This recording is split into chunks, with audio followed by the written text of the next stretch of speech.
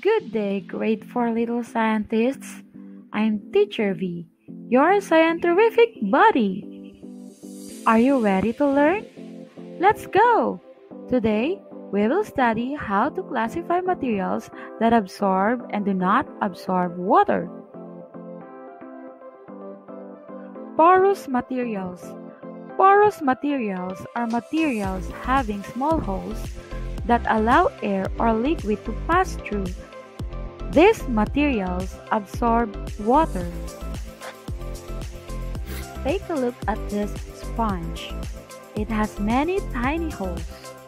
It means that air and water can pass through it. It is a good example of a porous material.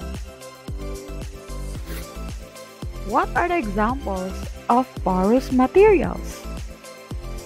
We have cotton balls, towels, tissue paper.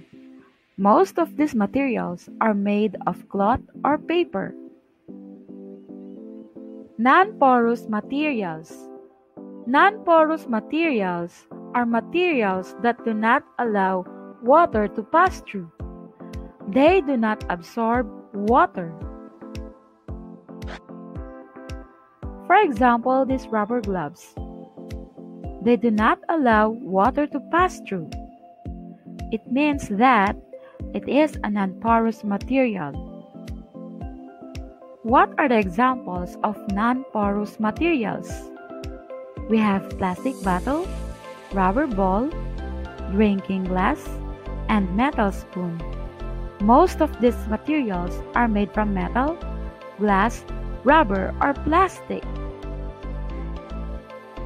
Remember that porous material absorbs water. Non-porous material do not absorb water. Let's have a short activity. Tell whether the following materials absorb or do not absorb water. Rag. Absorb. You are correct umbrella. Do not absorb. You're great. Raincoat. Do not absorb. Amazing. Thank you for watching. See you next video.